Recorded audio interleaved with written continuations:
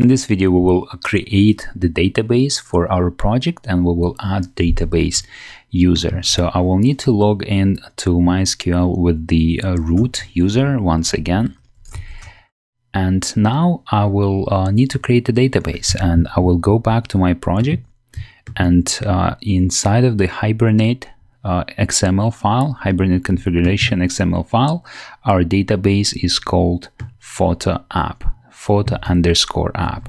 So I'll copy this and now I need, I will use command create database and I will paste uh, using command V the database name.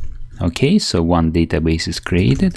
I can list down the database using show databases command and I have photo app created. I'm not going to create any tables now because uh, Hibernate will do it for us when we run our project and start calling our API web services. But we will need to create a user because in our XML file we use a specific username that has access to this database and we have a password with which this user can connect to the database. So I'll need to create user and with uh, in MySQL you create user using create user command and then you um, type the database name. And in our case it, it is photo app and then we say add localhost. And then identified by and the password. And I will copy the password paste uh, close the quotation mark and I'm using single quotation mark here uh, and hit enter. Okay so one user is created and I will now need to grant all privileges to this user for this newly created database. And I'll use command grant all privileges privileges on and then uh, database name photo app on all tables to user photo app add server local host.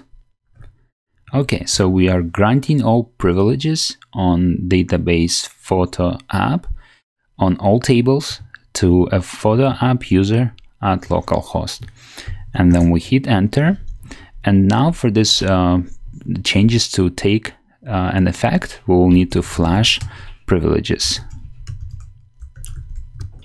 and hit enter.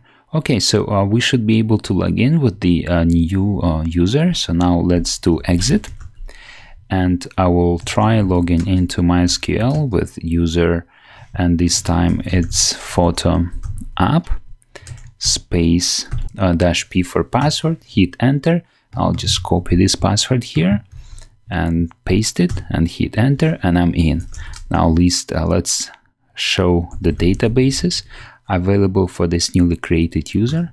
Hit enter and we have photo app and notice that MySQL database is not available for this user. It's available to a root user only. So if I exit and then go back, my login as a root user and then and log in as root user show databases. Okay we have more databases in the list.